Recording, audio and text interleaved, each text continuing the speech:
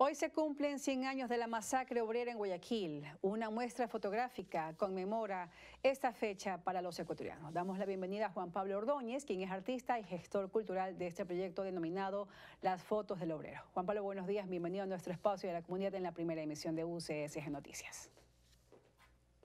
Hola, buenos días con todo el país. Un, saludo eh, fraternal desde eh, Barcelona, donde me encuentro ahora somos un equipo grande que colaboramos con este proyecto que hoy se presenta.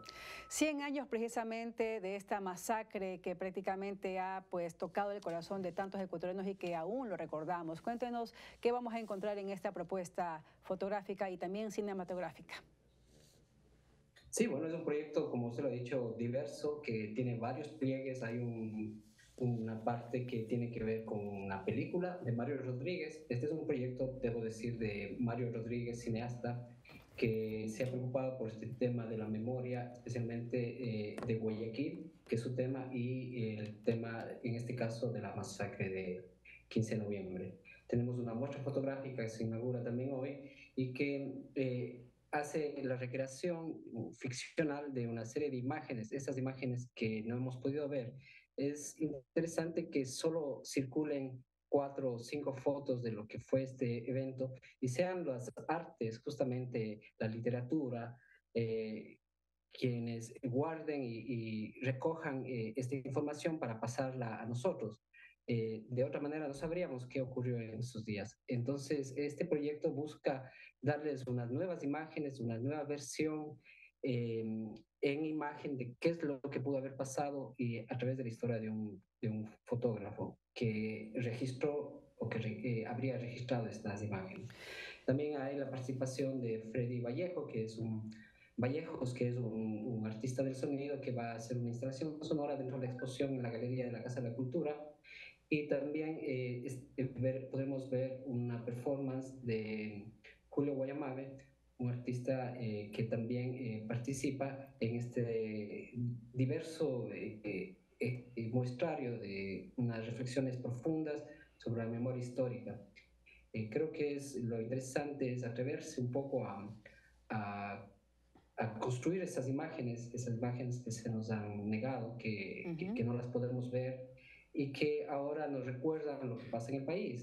parece que 100 años después podemos encontrar este enfrentamiento entre, entre los movimientos sociales y también eh, el Estado, eh, unos enfrentamientos que nuevamente eh, se tiñen de sangre y que nos da mucho para reflexionar en, en, la actualidad.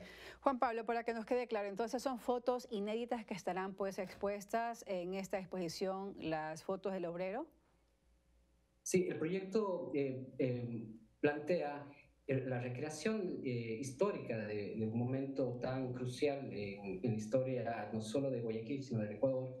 Entonces, eh, a través de diferentes colaboraciones especialistas como Ricardo Borges, un especialista eh, en la fotografía, un maestro de la fotografía, se ha recreado, por ejemplo, tenemos ahora en la pantalla esta imagen de lo que en los momentos previos de, de esta gran manifestación del el 15 de noviembre. Entonces nosotros eh, a través de este proyecto se, ha creado un, ambiente de cómo fue, cómo pudo haber sido y nos atrevemos a, subrayar esas, esas, historias que han quedado ocultas en el tiempo por no haber eh, la suficiente información visual.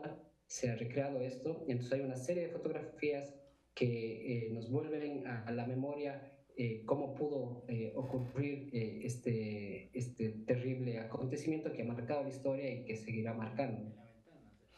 Situaciones que, Juan Pablo, se están pues repitiendo no solamente aquí en el Ecuador, sino también en el mundo entero. Vemos también cómo muchos países están convulsionados precisamente por la clase obrera. En nuestro país, recordemos que también han habido pues grandes marchas multitudinarias, sin embargo, gracias a Dios no ha habido la masacre como se registró aquel año, en el año 1922. Cuéntenos por qué es importante entonces que la comunidad entera pues vayan, asistan a esta exposición fotográfica. Y creo que hay que eh, tratar de acercarse, como dice el, propio eh, director de este proyecto, Mario Rodríguez, a esos silencios, a esos espacios eh, en, en, los que no, nos quedamos sin acción, sin, sin poder tener esa memoria, sin poder recordar. Entonces, este es un punto de, para homenajear a todas esas víctimas de una lucha social que aún no termina, que continúa, como, como usted también lo ha dicho, y que eh, nos hace reflexionar de quiénes somos y la capacidad de recordar con nuestros propios archivos, nuestros propios documentos generados en esta ocasión para esta exposición. Esta es una fecha, un centenario siempre marca un momento y, y, un momento para mirar hacia atrás y para mirar al futuro y eso es lo importante, qué, eh, qué hemos hecho mal, por qué continuamos eh, en una lucha sin satisfacer las necesidades de, la, gran eh, clase obrera y hablamos de muchos sectores del trabajo que buscan un que busca salarios dignos principalmente, no hay buen trato. Juan Pablo, antes de finalizar la entrevista, nos gustaría conocer dónde y cuándo se va a realizar esta exposición Las Fotos del Obrero.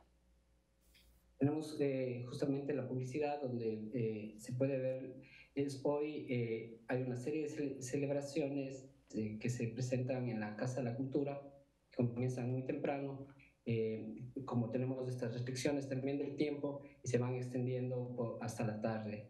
Me gustaría que, se compartan las imágenes y las publicidades para que se puedan conocer con más detalle esta programación que no es solo en la Casa de la Cultura, sino que realmente es una fiesta eh, de la memoria en todo el país eh, y fuera también. Bien, con esto finalizamos eh, la entrevista. Gracias a Juan Pablo Ordóñez, quien es pues artista y gestor cultural de este proyecto denominado Las Fotos del Obrero. Muchas gracias. Un saludo para todos.